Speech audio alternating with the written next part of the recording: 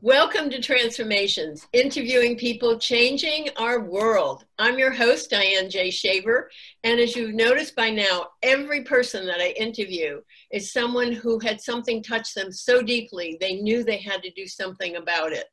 And when they did that, they changed the world for the better for all of us. And today I have somebody who's done just that and is going to bring to our attention something we don't pay attention to very much. And her name is Dr. Donna Beegle, and her company is Communications Across Barriers, and it focuses on poverty. So, welcome, Donna. It's lovely to have you here. It's good to be with you, Diane. So, if you would be kind enough to um, tell us why you founded Communications Across Barriers, what your background is, and what you're doing with Communications Across Barriers.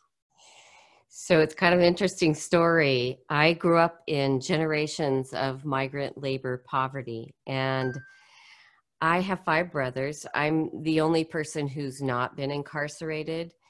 And I had this professor who was at the University of Portland, and I would tell him stories about my brother, but I never told him he was in prison because I wanted him to like him, not judge him.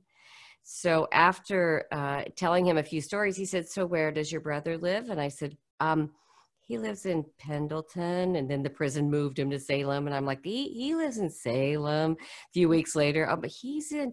And finally, after the prison third time moved him, he said, "Where is he? I thought you said he lived in Salem."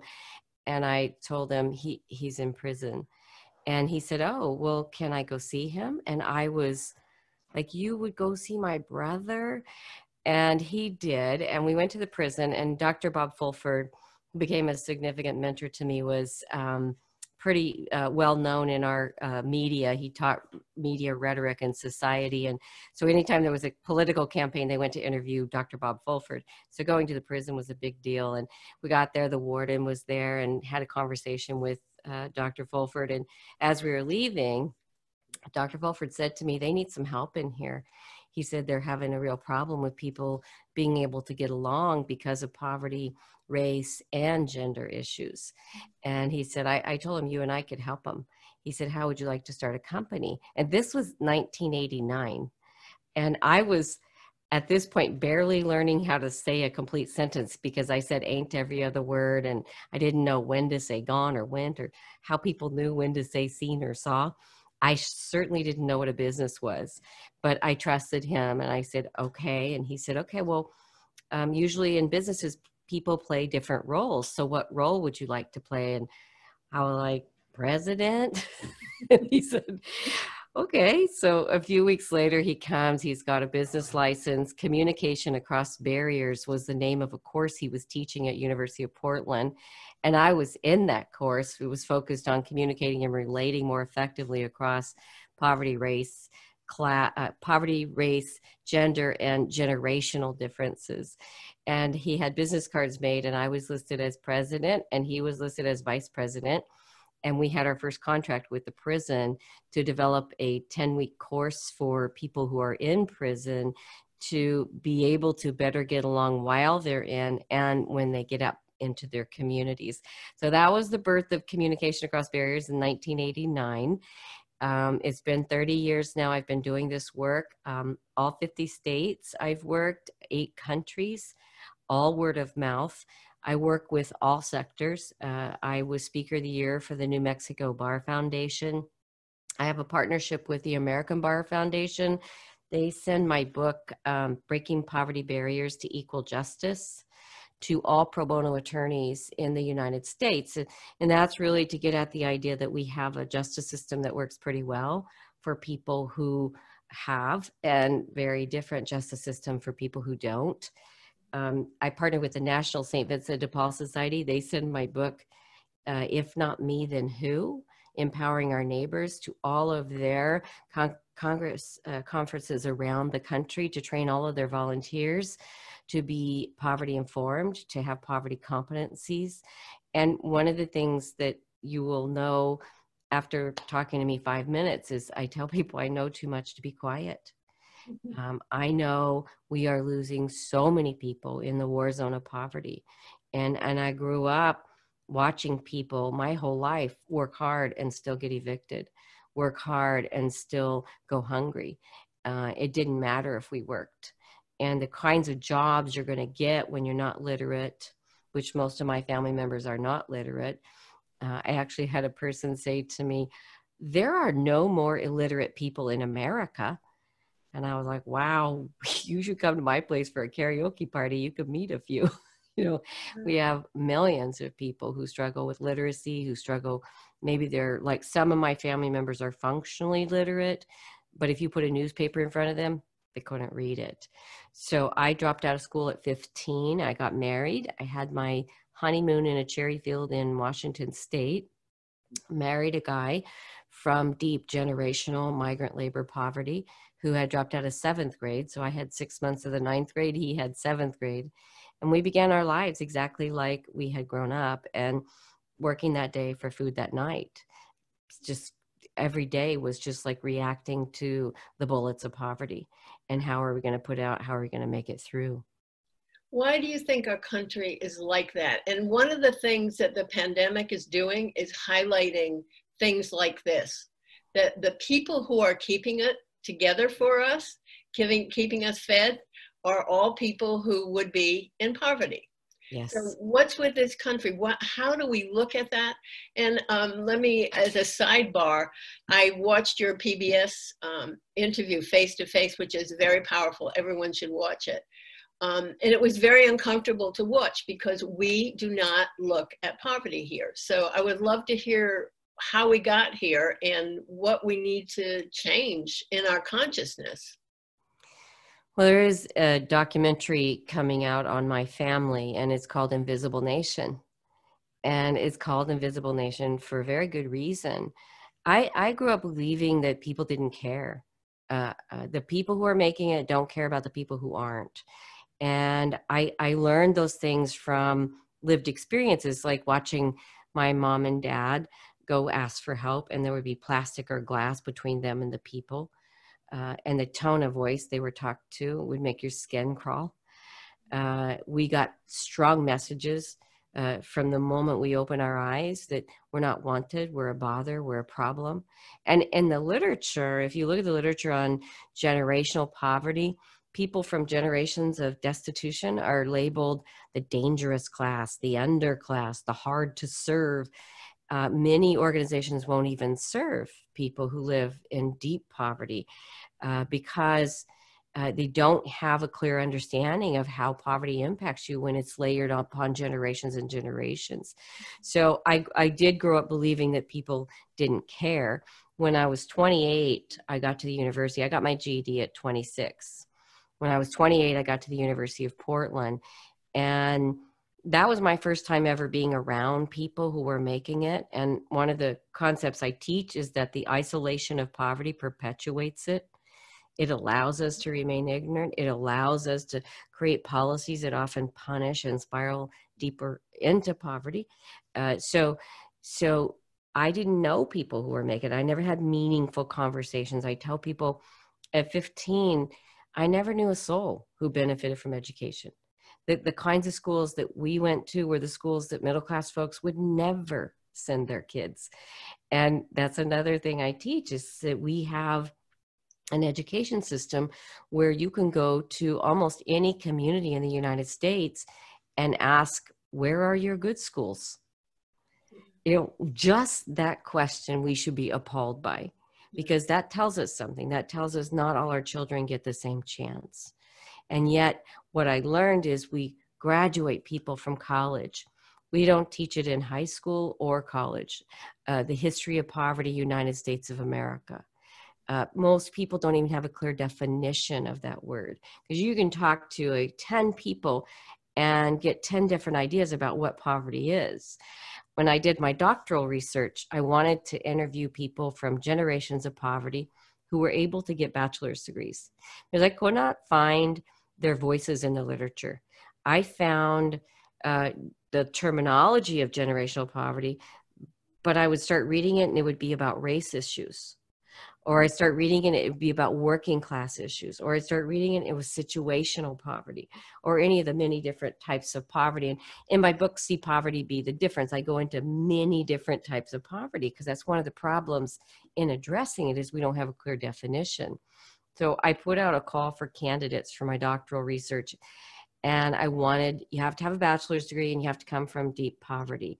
So this guy said, I'll do your study for you. I grew up poor. I said, Thank you so much. So, how did your family get by? And he said, Well, my father was a physician. He died. I was 12 years old and I had to go live with grandparents. I worked in their store. I had the right mindset and I pulled myself up by my own bootstraps and I became a doctor like my dad.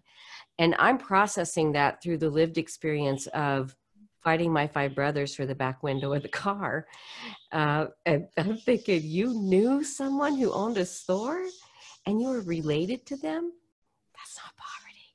But if you look at it from his context, who do the children of professionals spend time with? It's typically other children of professionals. Well, we compare ourselves to the people around us. So his peers are not going to live with grandparents. His peers are not working in a store. So, in his eyes, he grew up poor. So, how might he treat somebody who comes from generational poverty or working class poverty or immigrant poverty? Probably like this Hey, I did it. Why can't you?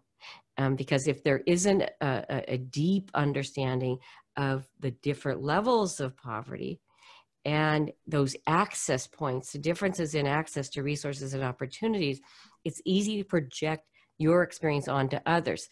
Uh, and it doesn't invalidate that losing your father at 12 is not painful. It is. Um, but it's different than somebody who's lived in a car their whole life. You're probably not saying ain't every other word. You probably have your teeth. And you've probably been exposed to uh, the the the avenues that middle class people get exposed to. Uh, middle class folks are taught if you want to make it, you get educated, you get skilled. People in poverty are taught if you want to make it, you work hard. Mm-hmm. Well, we work hard and we still get evicted. So it's just knowing what's possible. I mean, it sounds to me like from the background that you're talking about from poverty that the ideas that you can actually have something do something don't even exist no, I, you know, well, you, poverty steals your hope and it steals your confidence. So you come to believe that something's wrong with you. Paulo Freire is a Brazilian scholar who writes about poverty worldwide, and he says the United States is the only country in the entire world that teaches its people they are the cause of poverty because we don't educate about it. We literally graduate people to be psychiatrists, social workers, judges, lawyers, elected officials, business leaders faith-based leaders and they've never had the history of poverty in this country. They, they they again they don't have a clear definition even of like what models have we used to address it and what's worked and what's been effective there's not a shared conversation happening um, since uh, Johnson declared war on poverty, there hasn't been a national focus saying poverty's not okay in this wealthy country. We're not going to have it. Um, so let's build in the infrastructure. And most people, because they haven't studied the history of poverty, they don't know that the war on poverty was working.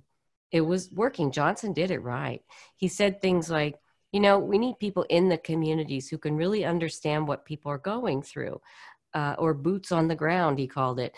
So community action agencies were born uh, he said we need all children to have preschool, not just the ones who have money.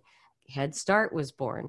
Uh, the TRIO program to help people get a skill or an education was born. So many programs came out under Johnson's war on poverty. We reduced poverty by 23% at that time. Uh, what happened was they pulled all the funding and resources and people out of the war on poverty and they put it into the war in Vietnam. So all of a sudden, these fragmented efforts began happening, and the organizations that were solid models began struggling, like people in poverty, to keep their own doors open. And that's still true today. So many of these programs still exist today, but they are so underfunded, and the people within them are so overworked that they struggle to meet the complexities that people in their communities are facing. But nobody knows about poverty. I mean, there's a difference between being broke and being poor. Yes. And and I mean that's that's where the middle class falls down. I mean, I know what it is to be broke. I don't know what it is to be poor. I have an advanced degree and I know I can always start a business, not because I have money, but because I know how to do it. And right. so those are resources that are ground into me. And and mm-hmm. what i'm understanding is that there are people who just don't even understand that and we as a if and you have a book on class i'm going to go through your books again but as middle class we don't even acknowledge or know that there are poor. I mean, in the sense that you're talking about poor, not in the sense that I was talking about it. Right. Well, you know, I have an activity. We do these two day poverty immersion institutes, and people say they're just life changing. And one of the activities I do in there is know thyself. Because fighting poverty begins with understanding your own ad- attitudes and beliefs. Sure. And really thinking through where did you get your ideas about poverty and the people who live in it? what do you believe causes poverty? If you haven't done that work then your your tone of voice won't change. Your ability as a leader to develop policies that meet people where they are not where we want them to be but actually where they are. A- an example of that is when i was on welfare uh, in 1986 my daughter jennifer was six my son daniel was two my 15 year old cousin was homeless she lived with me and I got $408 a month and my rent was 395. So after paying for my rent in a neighborhood called Felony Flats, I had $13 left. Uh, my welfare worker said to me if, if I could be more responsible and save money, that they were able to match whatever I saved and that would help me to get out of poverty. And this was a well meaning, well intentioned social worker. But inhumane to say to somebody who has $13 save some money be more responsible. So that's that blaming the people that paulo freire was talking about. In third world countries developing nations you don't hear people saying you know if you would just work harder in this third world country you wouldn't be poor yeah. You would just, if you just make some better choices, they are ab- absolutely honest about, hey, we have a broken infrastructure. hey, you know what? We don't have access to capital. So, so the conversation. So you can go, and I've worked in in developing countries with destitution, people who have nothing, but what they have that people here do not is their sense of self, yeah. and that that hope that has not been stolen uh, in America, people lose hope, and hope is the wings for grabbing an opportunity. Without that, I mean, if you read my bio, it doesn't start out with GED at 26. It starts out with confidence. And, and and before that, I couldn't even think about getting a GED. Why would I try to get a GED? I'm not smart. I don't know the words people use. All through school, my teachers would talk about things that I didn't know. What are they talking about? And I would say to my teachers, what is that word? And my teachers would say, well, go look it up in the dictionary. You need to be a responsible, independent learner. I go to the dictionary, there's five more words I don't know.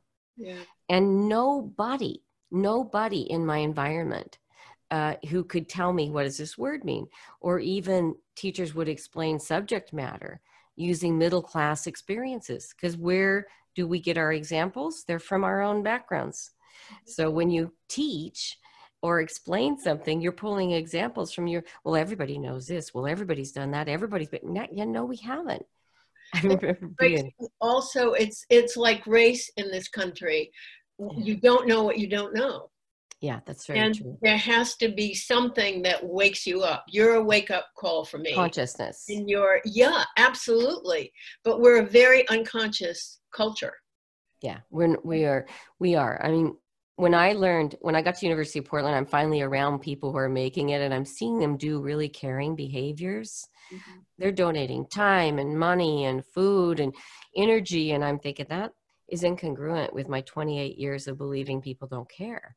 So I started talking to people about poverty and I learned two things real quick. One, they really did care.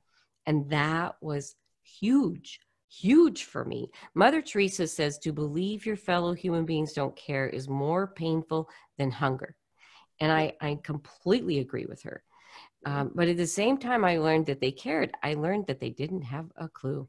They could no more describe my life in the context of generational poverty than I could talk about middle class person's life of like things like oh let's wait for everyone to get a plate to eat you know i mm-hmm. have five brothers i live in the deepest poverty in this country what we, what would happen in my context if i waited for everyone to get a plate so many times we ask people in crisis to do behavior that makes no sense in their context yeah. I remember I worked for the Y at one point. We did teenage programs. So we're going into schools and these girls are getting pregnant and getting beaten up and everything. And what were we supposed to do? Teach them how to set a table. That's a kind of unconsciousness. So, what do we do about that? I mean, we can go to your institute, but you need to know something in order to go there. So, as a culture, what the hell can we do? well, I will tell you the hope is that when people do know, yeah. they can't go back. And you know when i even just sharing the story of when i was on welfare and the uh, had $13 left and i got an eviction notice and i went to the welfare worker and i said can you help me? I have an eviction notice. And she said well if you have an eviction notice you're now mandated to do money management classes. So i'm sorry yeah. Even eh, beginning to understand the, the injuries that are inflicted on people who are in the crisis of poverty. So the organization i work with uh, again i work with all sectors. I work with faith-based i work with k-12 i work with higher ed and let me give you an example of, of how change happens. So amarillo college uh, brought me in uh, brought my institutes in and actually first i went there and i trained 350 community leaders uh, with poverty competencies gave them a shared language to actually have honest conversations about what is in the way of people in generational poverty, working class poverty, immigrant poverty, situational poverty, mixed class poverty, any of the many different lived experience. What's in the way? How do policies look from the points of view of people in these different contexts? How do they play out? Mm-hmm. And so getting those leaders informed so that they begin doing poverty competency analysis of their own organizations, really looking at professional development levels, mm-hmm. uh, what uh, building it into the infrastructure of the system, your hiring process. What do you believe about poverty and the people who live in it? that answer will tell you where someone is on a continuum of poverty competencies. And it doesn't mean you don't hire them because you got to expect ignorance in a society where we graduate people from college without a foundational understanding of this thing called poverty. But you build in the training necessary so that that person isn't doing unintentional harm. In the psychological research, uh, researchers say that our subconscious mind responds before our conscious mind. So, so many people are are so programmed that well they get rich off welfare they're having babies to get welfare well they have nikes but they can't afford their food not understanding any of the whys behind that behavior and not even realizing that they're judging uh, that they're judging and it's coming through in their tone of voice their facial expressions it's coming through in the kinds of de- decisions we make. So with amarillo college after i trained the leaders they sent 11 members of the college uh, faculty and staff including the president to become Beegle certified poverty coaches. This means they attend the two day poverty institute. They do book reads with See Poverty Be the Difference. They go to the Beegle Coaching two day institute. And in this institute, they're really going to learn how to do a poverty competency assessment, how to look at the strength of our partnerships in our organization. They're going to look at uh, curriculum or programs uh, through the eyes of people who live in the crisis of poverty. They're going to examine those policies. In my doctoral research, I studied policy, and policies are meant to serve. Policies that punish are called bad policy. And so many of our policies punish and spiral people in our court system, in our health system, in our justice system. I mean, every system you can think of. So many of our policies are not they're perpetuating the poverty rather than setting people up for success. So amarillo college had 11 Beegle certified poverty coaches. Very first year they doubled retention of students on pell grants. By making by now they're poverty informed. Now they're looking at their system through the eyes of the students who live in the crisis of poverty and saying is this working? Is our financial aid process working? Is our advising process working? They now it's been almost 10 years, they now have 82 Beegle certified poverty coaches at Amarillo College. They've won the Aspen Award, the Bellwether Award twice. They're written up in just about any magazine you can read or new or journal where they are breaking records. Because if a student from poverty actually makes it to college, which is rare, the deeper the poverty, less likely they will be on a campus. Uh, so if they make it to college, only 11% leave with a degree or certificate. If they're from foster care, that drops to 3%. So our colleges are not set up uh, to be ready for the students. So our K 12 systems, it's not about how, how we get the students to be ready for us. It's not about making fixing the student or fixing the family. We got to fix our sectors of our society that are not meeting people where they are. So uh, when I do community wide work, we have an opportunity community model in multiple cities around the country. What we do is we gather all sectors together, all leaders, banks, Chamber of Commerce, the United Way, the, the community action, all of the leaders, business leaders, and you get them some fundamental understanding of this thing called poverty and you then they have the language to to to have a dialogue they work together in ways they haven't worked before because it becomes not about turf or you might get my funding, but about the, the person or the family that we're working to really walk with them on a journey to move out and stay out of poverty. So it, it really does take a paradigm shift, a much deeper understanding of poverty. Uh, we have to get to the point where we, we take a NASA attitude. Failure is simply not an option. I mean, we send people to space and we say, no mistakes, no mistakes. We can't let any failure happen. Why would we allow it in our own communities?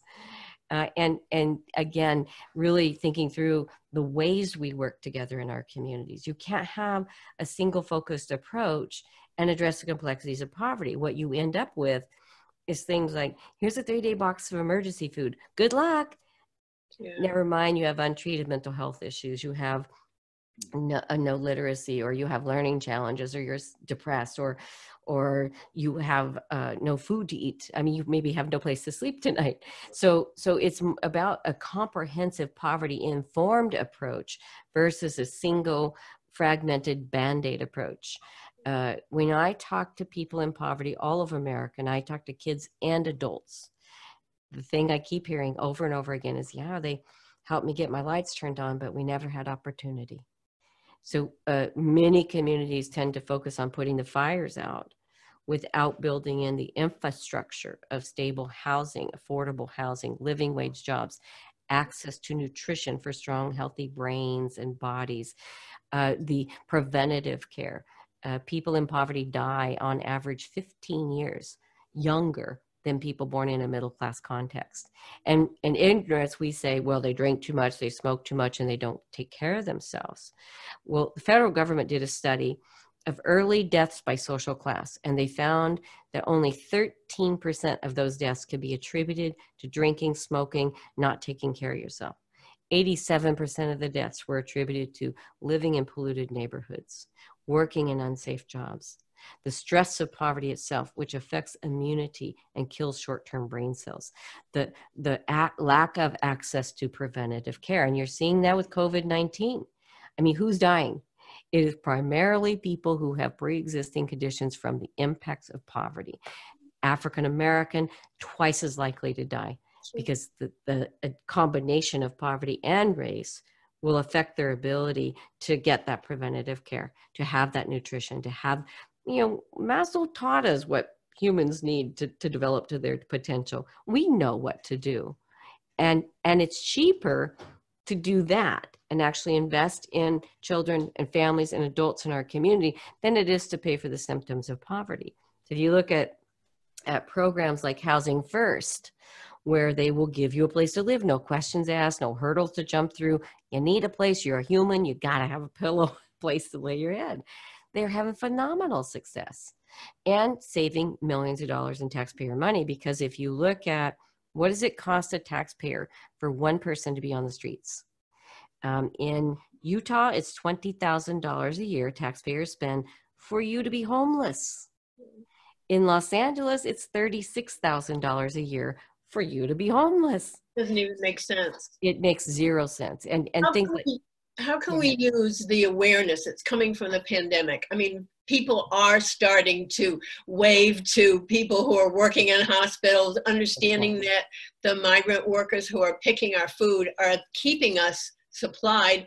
Um, truck drivers, all that. How can we capitalize on that awareness before it slips away? I've been doing a, a, a mini poverty and COVID 19 series, and, and people can access that on my website. There's six mini sessions on there now, um, just as a way of giving back and trying to help with this whole how do you create a post pandemic plan to deal with the poverty you already have and the increased poverty 36 million people applying for unemployment. So are we ready for that? Are we ready as a community? And and one thing I want to be very clear about I, I think when people think scarcity, when when human beings think there's not enough, it is our natural instinct to do what? Yeah, to hoard. But it's yeah. it's not true. There's it is not true. It is not true. So we have to begin to shift our paradigms away from that scarcity mentality and realize we are the land of excess. We are the land of privilege. And we are a wealthy, wealthy country spending billions and billions and billions of dollars on the symptoms of poverty. So, mm-hmm. what if we realign in our communities? And some of this is happening. You're right during COVID. You people aren't getting evicted. Um, people aren't. I mean, you have uh, states where you're not allowed to turn people's lights off. You're not allowed to take their water away. Mm-hmm. Um, you have states that where people are uh, leasing motels to get people off the streets. Now that is a short-term solution, and I'm, and I'm going to teach always capacity and long-term solutions because giving me a motel for two months isn't going to get me out of the crisis of poverty. Uh, and again, the deeper the poverty, the more investments we have to make in the wraparound services that people will need because the injuries are deeper. Uh, so, so COVID nineteen is shedding a light on both poverty and racism. And we're seeing we're seeing it so clearly. But you you when you aren't poverty informed you actually have a, a consciousness where people ask questions like dr Beegle don't you think that middle class people are just better looking? That's horrific. Yeah. And my response is well maybe but they paid to be so it's yeah. expensive to look good. you know, you, if you've never been to a dentist, and my brother Wayne, his whole mouth's full of super glue because he accidentally he was opening a tube of super glue, and it dripped in his mouth, and he discovered, oh, it killed my pain. So from that point on, he puts super glue in his mouth every time he has a toothache. You know, when people see somebody with rotten teeth or no teeth, well, and I've asked this question for 30 years, what's the first thing you think?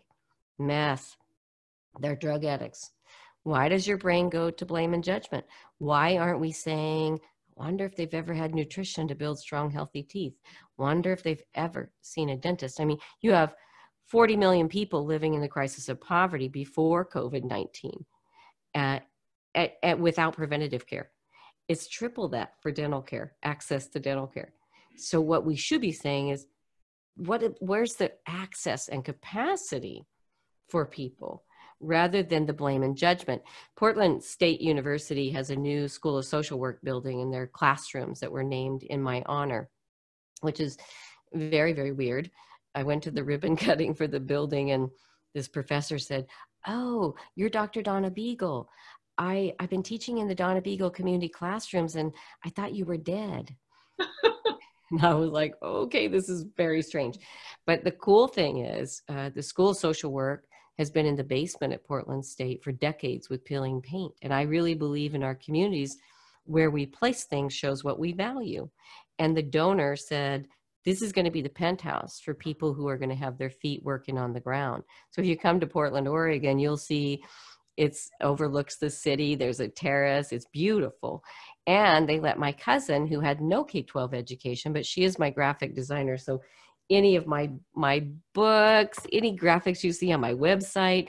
That's my cousin Wanda, who her mom and my mom are sisters, and her mom makes an X for her name.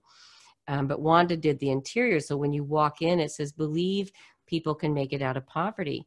If you don't, they probably won't. That's a quote from See Poverty Be the Difference. It says, if you are judging, you cannot connect. If you cannot connect, you cannot communicate. If you cannot communicate, how on earth will we eradicate poverty or educate? We, we just can't. So, how do you suspend judgment? You got to get more information. You got to get poverty informed. And, and that is essential. So, we do trainings with organizations, uh, all different levels. We do uh, the, our poverty immersion institutes. Uh, people do book reads with See Poverty. Two of my books have training videos with them so people can go through like t- watch 10 or 12 minutes and then go into a workbook or they can read along with that book. Mm. um, but those are some of the ways to gain poverty competencies. Listening to the people who are in it uh, the more you listen the more you understand. Uh, there's a tendency to want to come in and just project and say oh if you would only just do that well that kind of works out like this. I'm 26 years old. I'm uh, homeless with jennifer six years old, Daniel's two, Linda's 15, my cousin. And I go to this, well, actually, before I became homeless, I, I went to this community action to ask for help with getting my lights turned on. And the woman there said, Well, I think we have some vouchers and we can help you. Um, and you might want to check out this program. And this is unique to community action agencies. They were built to do the both and approach yes you need your lights turned on and here's an opportunity. So she said yes we can help you get your lights on and hey why don't you check out this new program? It's a it's a new pilot program. It's going to start up for single moms and it might be helpful. And at that time in my life i was 26 i had attitude uh, and i had smart mouth. So once i got my voucher for getting my lights on i said why don't you go do the program now, when I work with people in, in our opportunity community model, I work directly with people who are in the crisis of poverty. I do a conference for them. And I start out by saying, anybody here got attitude? And I get a whole lot of hell yeah, or you damn right. And I say, good, good. Because you watch your mom do without food, and attitude is an appropriate response. If you're watching grandma do without her medicine, that smart mouth is called for. But how does it work for you when you smart off to your your caseworker or your food stamp worker or your unemployment? Oh, so who? So I, I, I validate it and then I teach people how to use it. Um, but I had that attitude, and so I I just looked at her, rolled my eyes, and she said, "Why don't you take the number? It might be helpful." And she even got a little aggressive about putting the phone number in my hand. And I walked out of there thinking she doesn't know anything. And I got in my car and I'm driving illegally home, and I drove illegally for 14 years uh, we pass law saying don't drive unless you have car insurance. Well, where's car insurance on the priority list when you're making choices between rent and food? If we're going to pass legislation, we have to talk about how that's going to happen for our most vulnerable populations. So I would love to have insurance. It's no fun to be illegal. Uh, and United States, we're a driving society. We don't have transportation systems, even in our big metro cities, that will actually get a single parent somewhere they need to be when they need to be there. And we need to be honest about that too. There are places like London and Paris where you really don't need a car.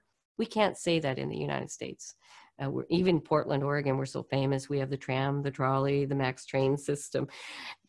No, try to be a single parent and get to the different places you're trying to get to to get crisis needs met. You're going to be late. So that kind of dialogue has to happen in communities as well. So I'm driving illegally home. I see the Pizza Hut. And I thought, well, I could get a job back there. I worked there, but we still got evicted.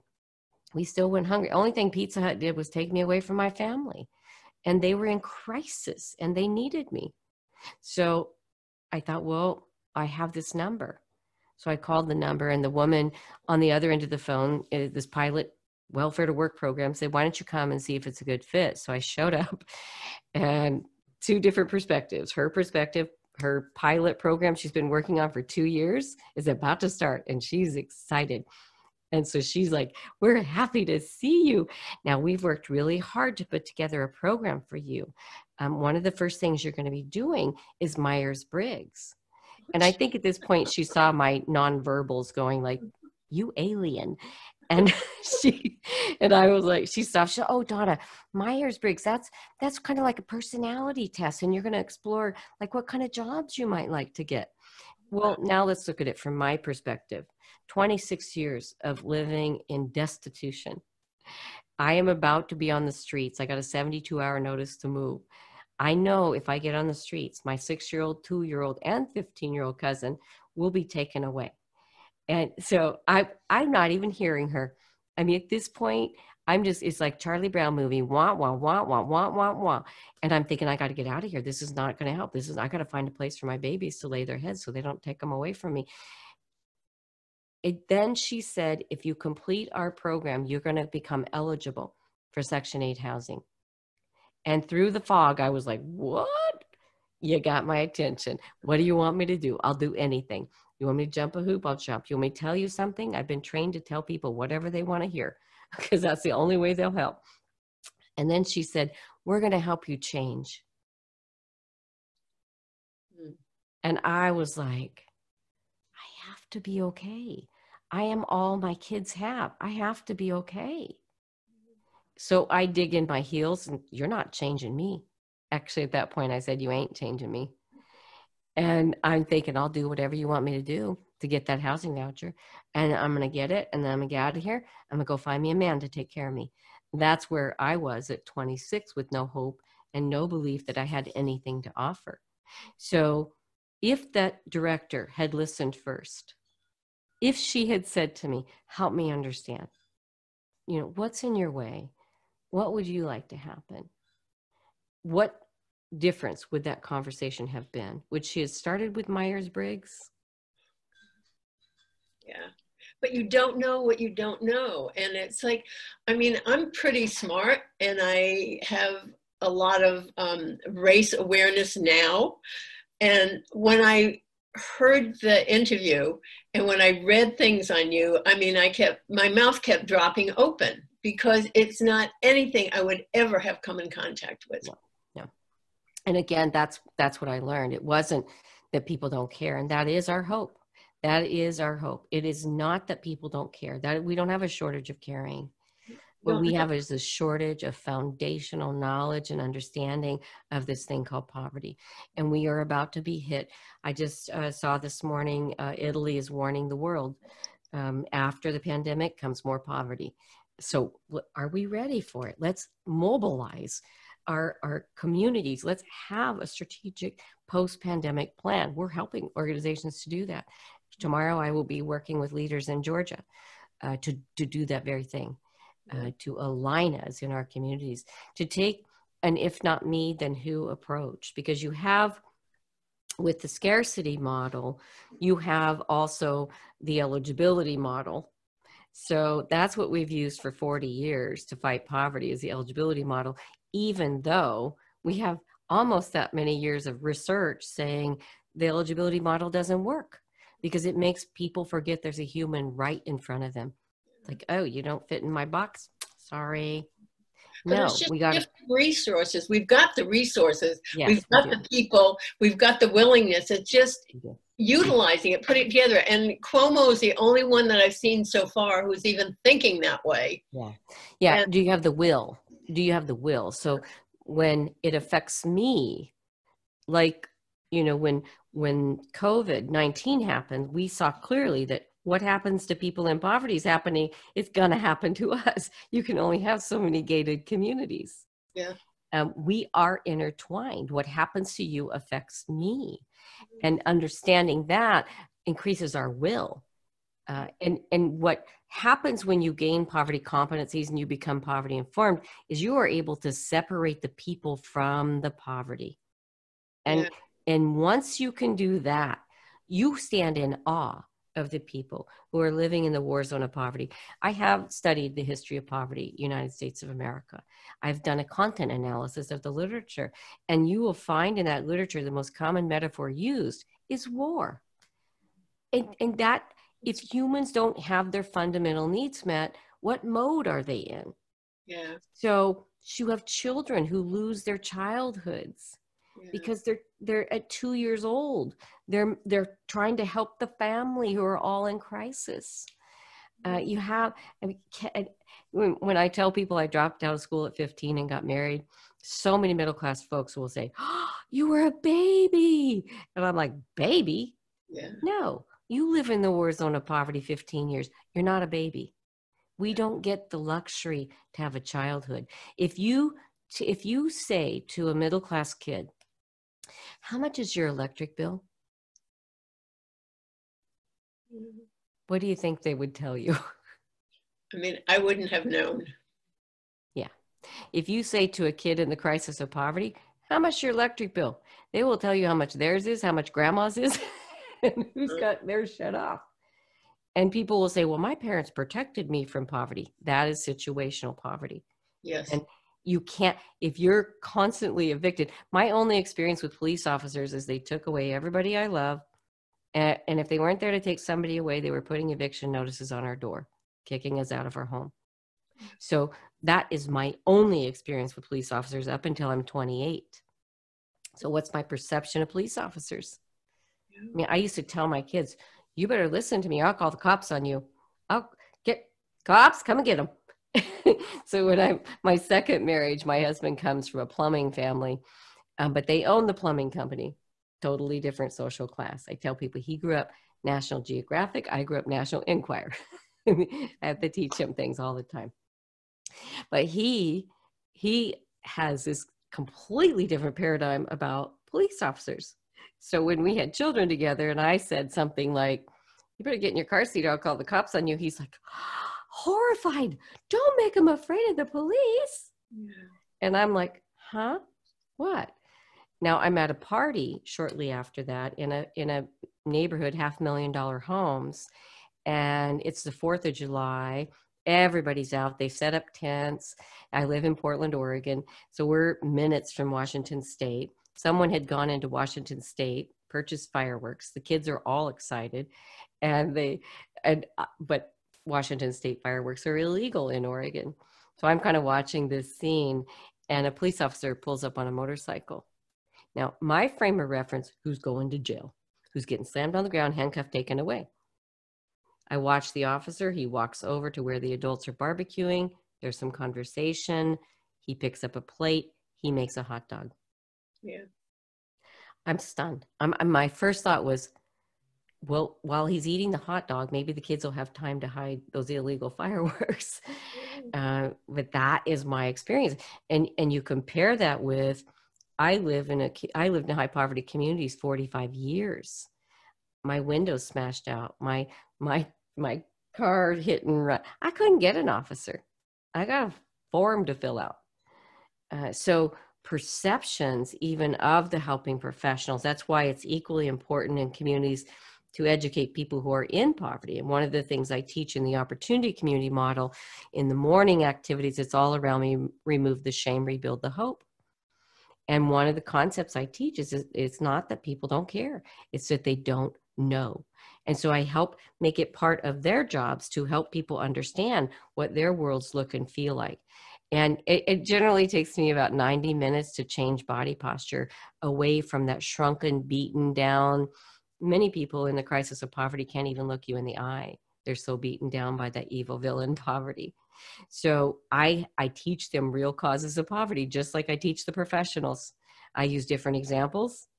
I use different language uh, part of the way I was able to make it through community college is I got to community college at 26 and I entered a world of words I'd never heard before, subject matter I'd never been exposed to, and I, I, I would go ask the instructors or professors, what does this word mean? And they would send me to read books, and I didn't know what those words meant. I didn't understand the examples, but my brother had spent his 12 years in prison reading, and so I would write him letters. Uh, Wayne, I got a test in three weeks in history. Find out everything you can. Here's what they want me to know. And he would do research in prison, and then he would write me letters from prison, and and they were often more than 20 pages. And he would say, Dawn, I remember when we were picking fruit and we were living in that berry camp and we were doing this. That's kind of what they're talking about now uh, in this example. And he would use familiar vocabulary. I used to say familiar. He would use examples from our childhood and that's you know my doctorate is educational leadership and learning theory says a human can't grab information if you don't make it relevant to their lived experiences so you see a lot of helping professionals using examples that, that people have no reference for in mm-hmm. my research with parents in the crisis of poverty 92% reported that when they walk away from a helping professional they don't know what to do next. I mean, so often you you give someone a form or you tell them something and they walk away going, "Where do I go? Who? What'd she say?" We're not communicating, and and sometimes it's because of the vocabulary. Sometimes it's because of the examples. And sometimes it's because of the styles. Tomorrow I'll be doing. Oh no, it's not tomorrow. Sorry, June fourth. I will be doing a, a 90 minute workshop on communicating and relating more effectively across poverty barriers. And people can register for that on the website, and we'll get into some of the intricacies of differences in communication style and how we can communicate in ways that build relationships that matter, how we can use familiar vocabulary so that people do are able to walk away and better understand um, and and really set people up for success uh, so that they are taking those steps that they need to do and we need to do to help them on their path out of poverty, which has got to be our goal. No poverty.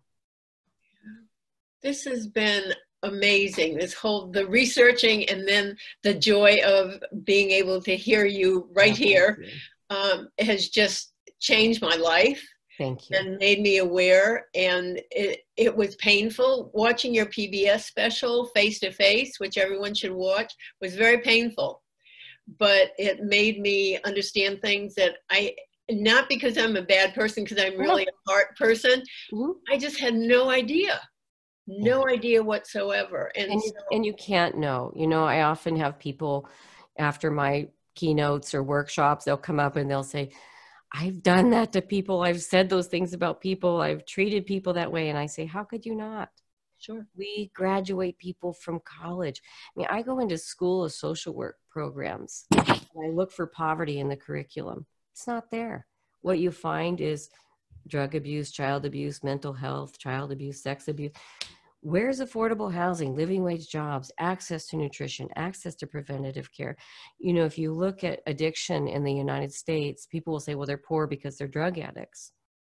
So, how many people have ever heard of somebody who's wealthy that struggles with addiction? A addiction, lot it's a mental health issue um, and it, um, i mean sorry it's a medical issue. Uh, our courtrooms are full of people with medical issues. And we we don't send them to the hospital we send them to the court. And i watch these judges i train judges and i watch these judges hands tied. Like what do you do with this person who clearly needs medical attention but they're in a courtroom? So that has to change. Um, you have a crisis with mental health. Um, how does America address mental health issues? We don't. We don't. But the reason we have so much mental health is, is we have the most unhealthy culture. The way we treat one another, not just in poverty or race, I mean, just as human beings. And the way we try to compress people and make them into something that they're not. True. That's very true. You know, I I will ask communities will tell me, Dr. Beegle, you got to help us. You know, our, our, our meth is tearing our families apart. Heroin, opiates destroying our family. Okay, what are we doing about it? Yeah. Uh, jail is number one answer. Yeah, that always helps. So I train drug and alcohol counselors, and I say, hey, will jail cure meth? You know what? The specialists who've educated on this subject matter will say they'll say it won't even cure cigarette addiction Sure. People go to prison for seven years, they get out, they smoke because the addiction is never treated. And people who can access Chantix or Nicorette, their smoking rates are down.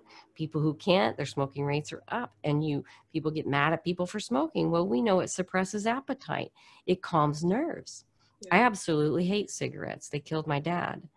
I, I told three people in poverty, I'll help you quit. I will pay for the Nicorette program. I wasn't even to stage three, I'd spent over $500. So some communities will say, well, we have a five day rehab program if those people on meth really want help. Ugh. Most I see nationwide is 30 days. Yeah. So the literature says it takes a year of intense rehab to be free of those harder drugs.